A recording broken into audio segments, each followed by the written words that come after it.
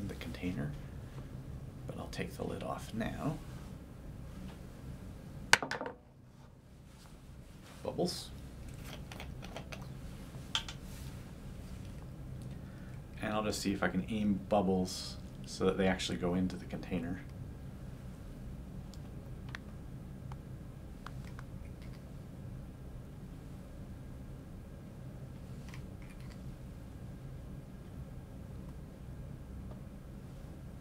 A few.